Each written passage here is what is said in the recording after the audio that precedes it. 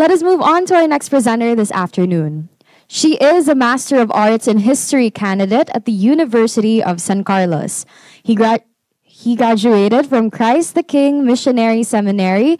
I, she graduated from Christ the King Mission Seminary with a degree in philosophy and also had, a, had also taken AB Theology and MA in Theology from the Seminario Mayor de San Carlos. He was he was a former philosophy teacher at Collegium Societatis Angeli Seminary for five years. At the Talisay City College, he taught history subjects from 2018 until the present. In 2020, he was a member of the Talisay City College Cultural Affairs Office. In 2021, he embarked on the research of the local history of the city of Talisay.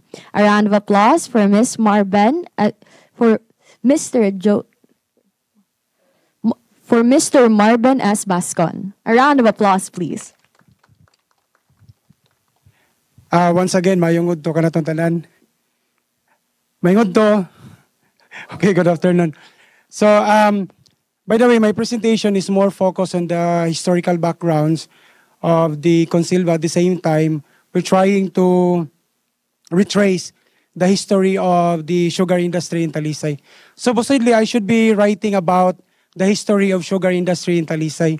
But I found out that when I had my interview with one of the descendants of the Consilva makers in Talisay, according to her, uh, she said that they are, I mean, they are in business. I mean, they are trying to, they are trying to realive the the business of Consilva because according to them, it was one of the heirlooms of their families, their, their families, the Villavers, that can be traced back during can be traced back during the time of the Spanish period.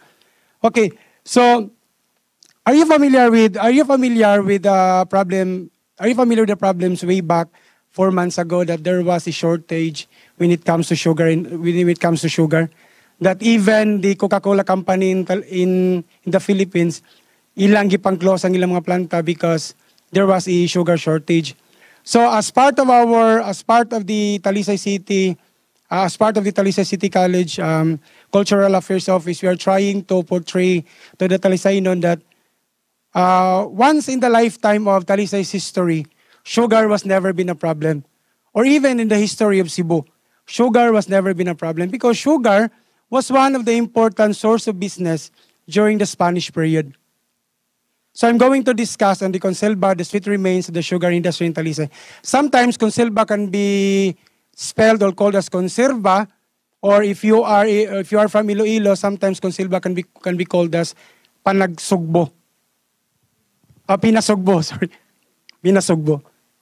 Okay, so I'm going to discuss to discuss the Talisay and Friars land, sugarcane and sugarcane and banana haciendas, the sugar industry during the American period, the destruction of Talisay's agricultural lands in the Second World War, and how Consilva became one of the favorite uh, food snack of the Talisaynon during the Spanish period with the coming of the Americans and sad to say, during, uh, sad to say during the 1950s, wala na Tunisia. It was totally blot out from the, gastro, uh, the history of the gastronomy of Talisay. So this is one of the example. Um, I began to write about the history of Talisay when I was in the seminary in Christ the King because in Christ the King in, in Quezon City. So most of our professors uh, most of our uh, professors were were professors from the University of Santo Tomas. So at the same time, we were given access to the beautiful archives of the University of Santo Tomas, particularly the, the particularly the ecclesiastical uh, archives of the university. Then there was uh, in that particular section there was wa, there was a a document. The document was written in uh, it, it was written in in an old Spanish language, particularly the paleo, uh, particularly the paleography of the 15th and 16th century. So there's a big difference between the paleography of the 15th and 16th century and the 17th to 20th century Spanish uh, paleography. So I found out there that as early as 1660, Talisay was Talisay was part of the was was part of the Augustinian uh, property. In other words, You try to imagine all of the lands in Talisay and Minglanilla, kay ang usari tagiya. Kisay tagiya. Ang mga Agustinian. Kisa man yung mga Agustinian. These are the priests who are now the owner of the Basilica del Santo Niño. Ingana kadako ilang yuta, aside from aside from Minglanilla and Talisay, they also own the lands in Banilad, Mabolo, and Talamban. So ingana kadato, kadato mga pari. Okay. So, historically, Talisay is one of the important pre-Spanish coastal settlement in Cebu, as what mentioned by Sir Tormis. During the Spanish period, the Augustinian order acquired all the lands outside the boundaries of the Pueblo de Naturales and the Parroquia of San Nicolas as early as 17th century through a series of donations. So you try to imagine that Talisay, starting from 17th century, I mean, starting from 1617 until 1836 was, was part of the parish of San Nicolas. At the same time, San Nicolas during that time was still a separate pueblo. So in 1734, the Augustinian order and the governor of Cebu, Don Martin Castañares, uh, decided to decided to division the problems existing during the time. O sa may problema nga existing, ang mga lumad nga mga taga Talisay, di man sila mudawat nga ang Talisay gipanagiya na sa mga Agustinian. So and because of that, the governor of Cebu decided to demarcate the boundary between Cebu City and Talisay City. What is that demarcation in Talisay and Cebu City that divide between Talisay and Cebu City? Bulacao. There are two Bulacaos in Cebu, Bulacao, Cebu City, and there is also another Bulacao, Talisay City. What divided them was, what divided them is the river, Bulacao River, nga mo nag-divide between Talisay City and uh, Bulacau, Talisay, and Bulacau, Cebu. And that was divided during the time of Governor Martin Castañares in 1734 in order for the in order for the Agustinian nga ang mga taga-Talisay dili na manghilabot. So, in 1827, the friars decided to open the haciendas for inquilinoship or for the renter. Many principalities in the ciudad such as the Sansons, the Velosos, and the Osminias began to have access to the lands in Talisay and in Minglanilla. Then in 1834, the town of Talisay was founded by the Augustinians Three years before, in 1831, the friars introduced sugarcane in the town. So what was the reason? Why the what was the reason then why the friar decided to introduce sugarcane in Talisay? Because of the sugar booming in the world market, particularly the particularly during the 18th century. Then in 1836, two years later, the same friars founded the parish of Talisay, which was dedicated to Santa Teresa de Avila. So this one. Sad to say, the convent and the uh, Coralstone perimeter, it was destroyed during the bombing of 1945. So what uh, what remains of the what remains of once the grandest um, Augustinian church outside of San Nicolas, the parish of Santa Teresa, what remained was the facade of the original grandeur. Next, sir. Um, see. Then, in 1831, as the demand of the sugar industry in the world market was booming, the friars decided to introduce sugarcane in the town again. Four barrios were required to be planted by sugarcane alone, namely Poblacion, Dumlog, San Isidro, and Tabunok. These land, I mean, these barrios belongs to the flatlands of Talisay. So, like for example, if you will, uh, if you enter Talisay, Wagi mo tabunok, wagi mo San Isidro, wagi mo dumlog, wagi mo poblasyon. And these areas were considered as the best suitable place or lands for sugarcane. Mo na ang ang word nga tabunok, which means arable land, or tambok, tabunokon. Then, uh, as the friars were prof- uh, profiting for this type of agriculture, the old dog, or monitawag sa mga friars, decided to monopolize the sugar industry not only in Talisay, but also the town south of Cebu. So you try to imagine, as early, uh, I mean, you try to imagine that during the Spanish period, ang mga pari, negosyante na dyan din dako. Ang ilay negosyante, ilay negosyo, dili lang sim, simbahan naman, sorry. Dili lang skilan, but they also involved in sugar business and land ownership. Yeah, actually, according to the Code of Canon Law, I mean, according to the Code of Canon Law, priests are not allowed to engage business. Then in 1880, the Santo Niño Corporation, which was the Basilica, The corporation managed and owned the Hacienda de Talisay, y Minglanilla, built the first modern sugar mill plant in Old Dog Poblacion near the parish church and convent. What was the reason? Because they want to monopolize the sugar industry in Cebu. Thus, the parish priest sometimes acted as the manager of the corporation. Ang pari, di lang siya pari, manager pa dyan siya sa corporation. Then on, on April 2, 1898, the revolutionaries rose up against the Augustinian friars in Talisay because of the issues revolving around lands allegedly stolen from them. So, in 1898, this is the most important events in the history of the revolutions in Cebu. Because one of the important reasons why the Cebuanos or the revolutionaries revolted against the Spaniards was because of the agrarian issues. It was found out It was found out in the legal documents nga, dili man ita ng yuta, gipanag-iya sa mga Agustinian. Mura bitaw siya ang yung story, murag storya ni Jose Rizal. Diba, familiar, no? That the Dominicans were not really the, were not really the owners of the Calamba hacienda, but rather it was allegedly stolen from them. Then after a consolidated but short-lived independence, the Tilisaynons Inquilinos began to consolidate their ownership to the lands they told. However, during the American period, the Spanish friars were allowed to go back to their mission areas but not to their former parishes. Pero bright kayo ang mga pari.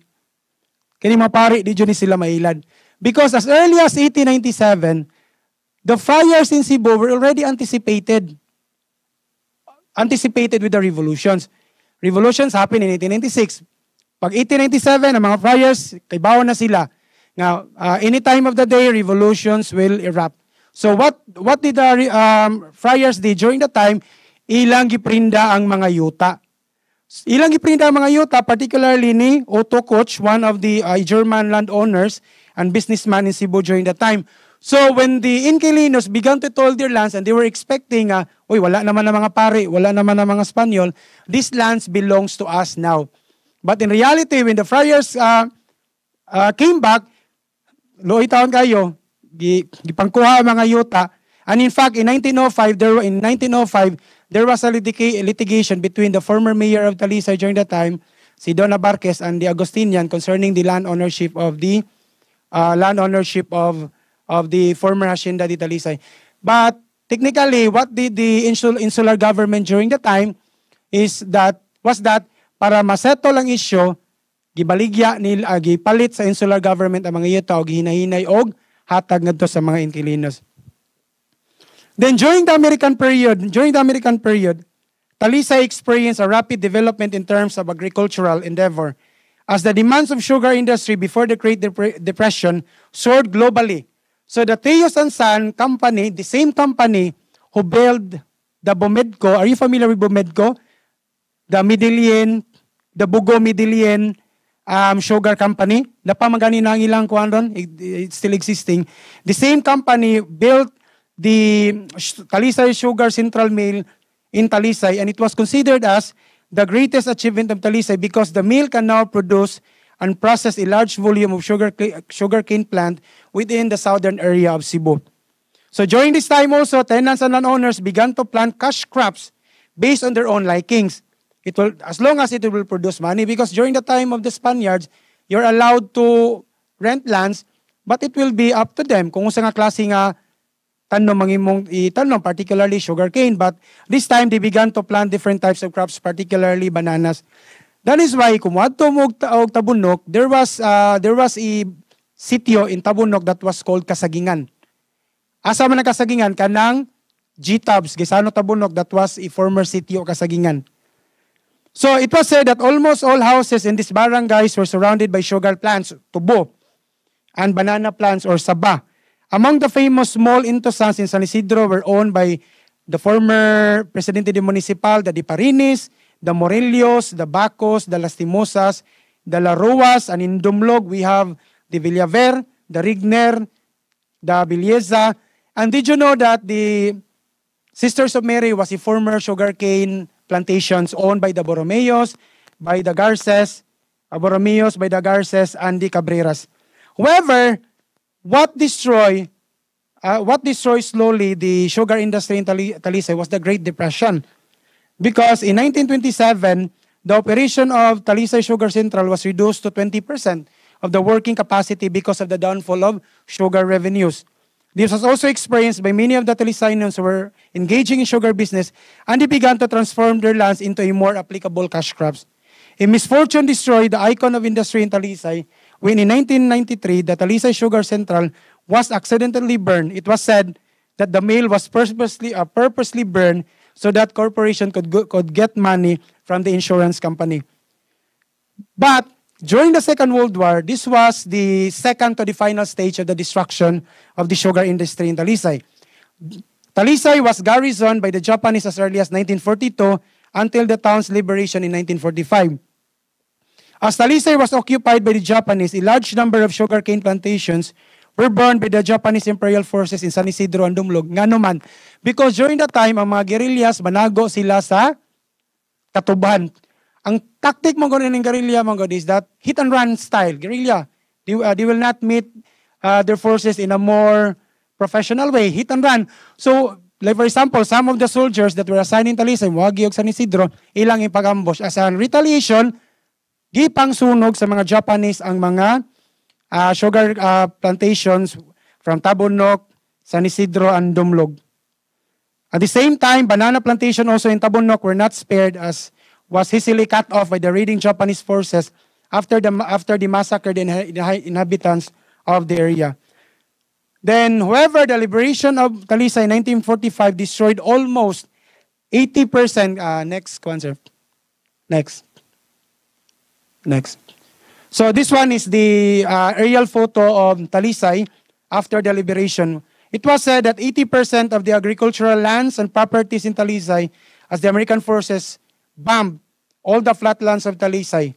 So it was said that it took them around five years before they can utilize uh, sa mga yuta because kisa mo tayo magdaro diya nga dapa man ay bomba ang uban wa man nanakaut. In fact, last 2000 last 2020 when when the Talisay Liberation Park was been uh, was been beautified by the city uh, by the city gov- city government of Talisay the construction, uh, I mean, the construction workers found uh, found out nga dapat yung mga tulo ka buok bumba nga wala na buto sa kuan sa area sa Liberation Park.